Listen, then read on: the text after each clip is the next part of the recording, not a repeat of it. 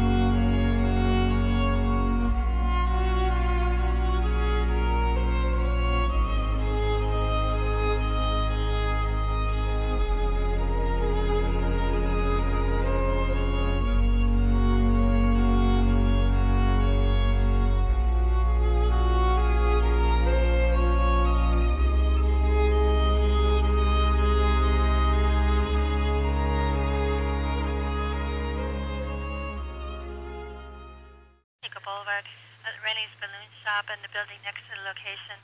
Suspects are seen climbing out of both windows, male Hispanic and a possible male black. They have their vehicle, van parked